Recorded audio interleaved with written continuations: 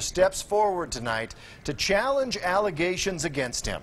He is one of four leaders from the El Paso County Sheriff's Office embroiled in the latest complaint that surfaced against Sheriff Terry Maketa.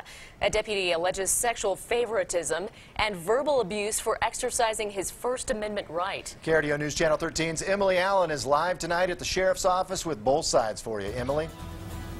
James and Heather, at the center of this complaint is a meeting that took place here at the El Paso County Sheriff's Office. The deputy was called in to meet with Sheriff Terry Maketa, Under Sheriff Paula Presley, and Chief Al Harmon. Now, the sheriff's office did release audio from that meeting. However, an attorney representing the deputy says that's only a little bit of this meeting and definitely not the whole story. It was a meeting in March.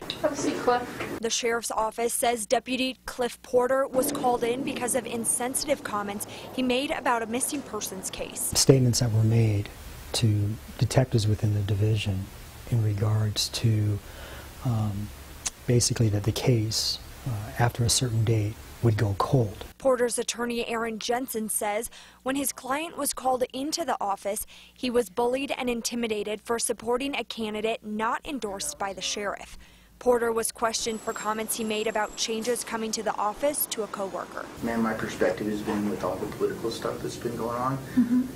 Sometimes people, it seems crazy around. People seem worried and frustrated. And why? I mean, guys on patrol are worried about this and that, and it just seems nuts, man. The complaint says Commander John San Augustine forced the coworker to write the memorandum concerning the alleged political statements. The coworker says he was worried he'd lose his job if he didn't. San Augustine says that's not true. There's two sides to every story in, in, in layman's terms, right? That we um, have to look into everything that is going on. At the end of the clip, you can hear Porter walk out the door. The sheriff's office says the meeting ends there. Jensen says it doesn't. That simply is not accurate.